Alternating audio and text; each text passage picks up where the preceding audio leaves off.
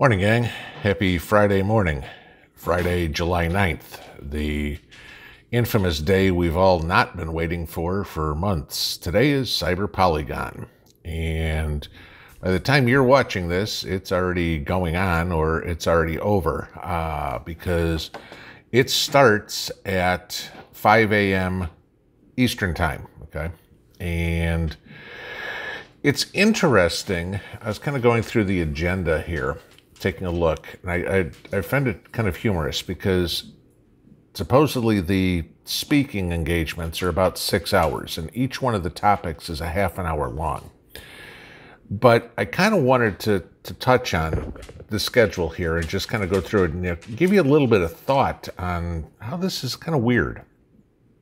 So, you know, of course, it starts off, like I said, it's 5 a.m. Eastern. It's noon in Europe where they're doing this, okay? Uh, but it starts off at noon their time uh, with Herman Gref, who's the CEO of Sber, which is a Russian bank, okay? He's going to be the opening speaker, all right? So he opens for 10 minutes or whatever it is. Then you have the welcoming mark, remarks uh, from Mikhail Mishustin, who's the Prime Minister of the Russian Federation and a representative of the Russian Federation at the European Court of Human Rights. Okay, so, you know, interesting title for somebody at the WEF. Okay. And then, of course, we have everybody's favorite buddy here, Klaus Schwab, who, of course, is the founder of the World Economic Forum. So then they get into the, the meat, meat and potatoes of the meeting. And the first topic, first half an hour, is ecosystems as a new way of global integration. Okay, and this is Herman Gref, again, CEO of Sber, and Steve Wozniak, Apple. Okay. But why are we talking about ecosystems? Okay, again, we're talking about globalization. So, you know, we've got to throw in that save the universe or save the world type thing, but on a technology basis.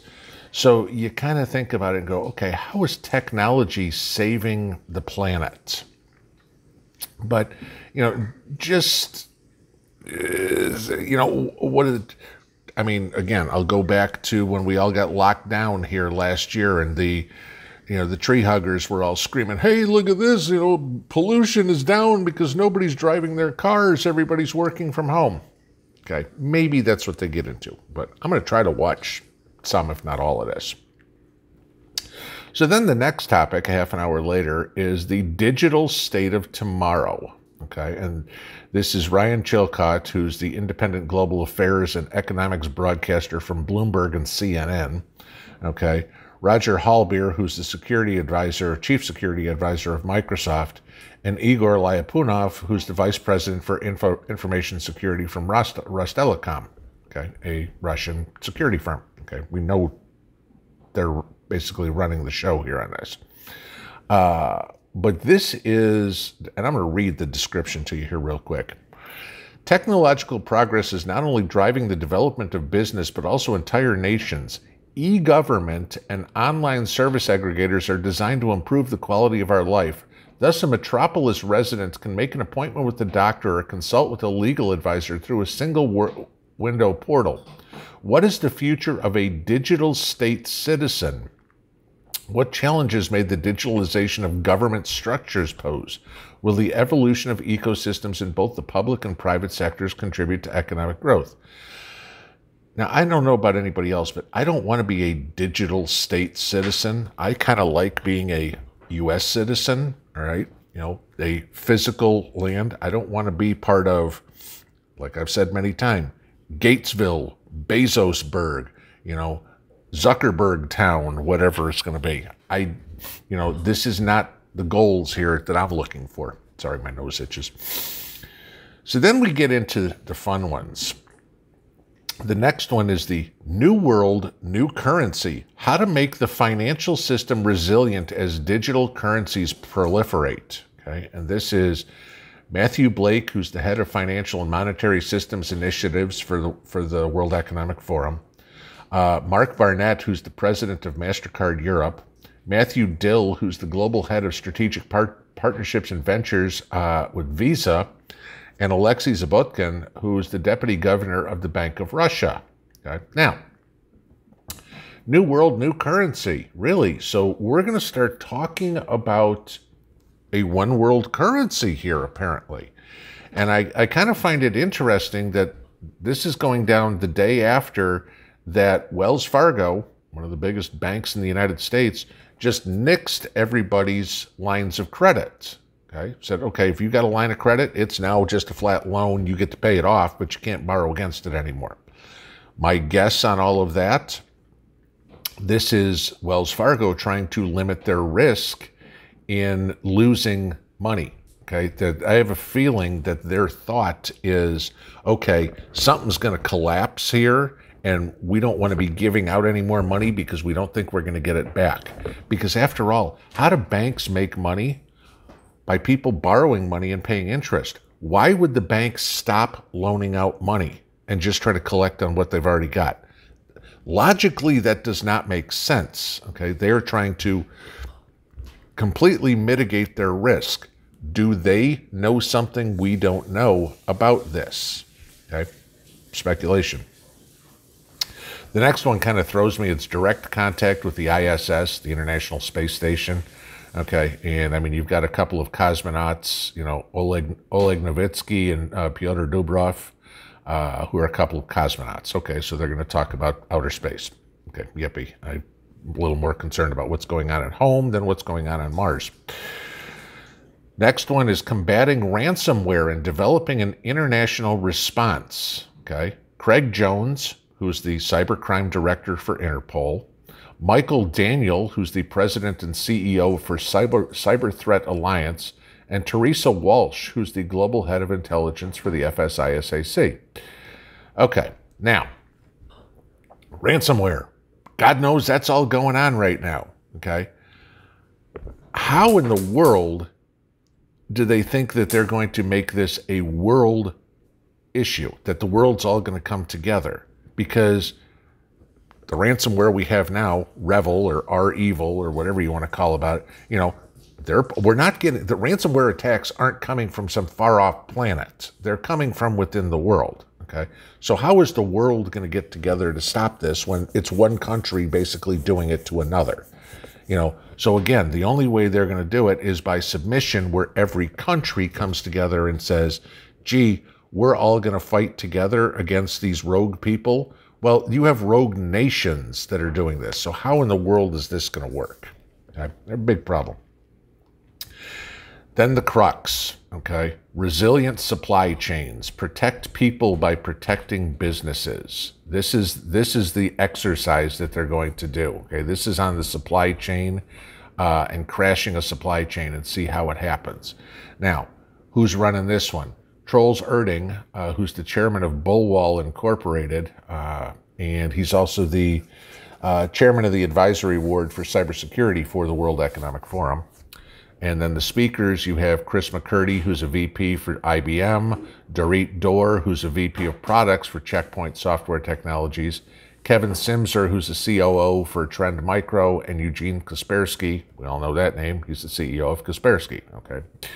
Uh, but they're going to this this is the crux this is the part that we're all worried about where they're you know crash the internet you know, potentially crash the grid to see how companies react, how, how a supply chain works. Okay.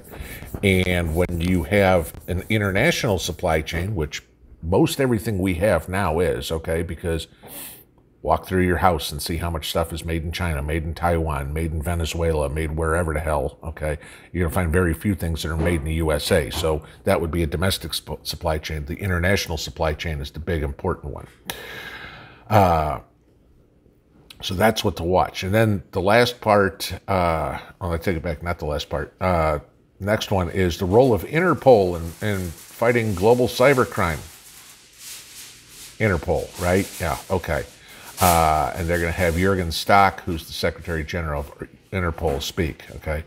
Last time I checked, Interpol really doesn't exist in the United States, so this isn't going to work. And where does a lot of who's the victim of a lot of cybercrime? Oh, the United States. All right. Then one I find very interesting.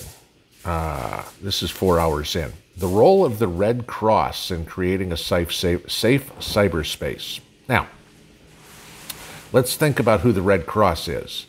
The Red Cross is disaster relief. The Red Cross is who shows up when there's a hurricane, wildfires, tornadoes, you know, a building collapsing in Florida. The Red Cross shows up, okay? This is it. You know, handing out bottles of water, food, shelter, whatever, helping people with that. What is the red what kind of disaster in cyberspace would the Red Cross help with? This this one really throws a curveball at me, okay?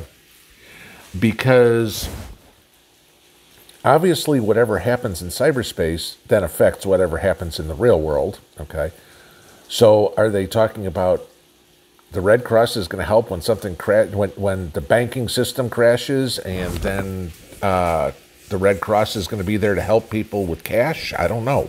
Uh, but why is the Red Cross involved in safe cyberspace? Okay. Uh, then, of course, they go into international regulations on the web. Uh, they say it's, it's necessary, but is it possible? It's impossible, okay? Because there's no way communist China and the United States, for example, are going to agree on any sort of regulations. I mean, hell, China, uh, North Korea, let's use that one, okay? You know, you can't do any, you can't look at anything outside of North Korea on the web. I mean, it's penalty of death looking at something outside of North Korea on the web. You know, China's not that far, but, you know, hell, you have to worship Xi Jinping. You can't wor- worship God in China. Uh, you know that's a that's a punishable by death if you don't put Xi Jinping up as God. So how the hell are you going to have you know international regulations that everybody's going to abide by? I mean, you know, let's talk about oh the Paris Accord. Okay, well nobody's abiding by those. You know, you think you're going to get it on internet. Uh, five o'clock in cyberbullying. How can we protect children from digital threats? Well, that's a parent's issue. That's not a government issue. Okay, you know, keep your kid off of porn sites and stop having, you know, stop letting them listen to, you know, rap music and you know Cardi B and all this crap, and you know we'll be all right.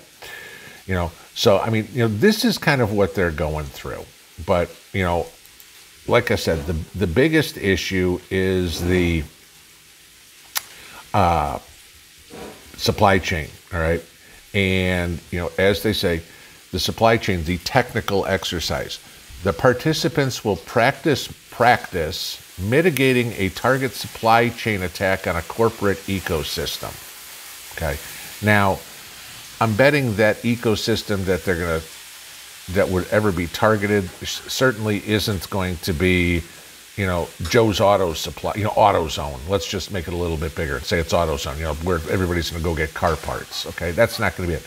It's like, oh, what what eco what corporate ecosystem are they going to take down? Hmm, I don't know. Google, you know, uh, you know, take down take down the ISPs or something like that. That's you know another corporate ecosystem. Oh, let's take out the grid. Those those are the ones that we worry about. It's not going to be you know where you get your car parts or you know some where where they make makeup or something like that. It's going to be an interesting day. I will watch as much of this as I can. Inevitably, there's going to be a lot of places to get information. If any of you guys are watching any of this, see any of this information or whatever, find anything good that other people are talking about that we need to share, because obviously there's one of me and I can't pay attention to everything. Uh, you know, if y'all hear some information, please let me know so we can get it out to the masses. Uh, but yeah, so inevitably, I'm going to wind up seeing you again today. So have a good Friday morning. We'll talk to y'all soon. Pinball out.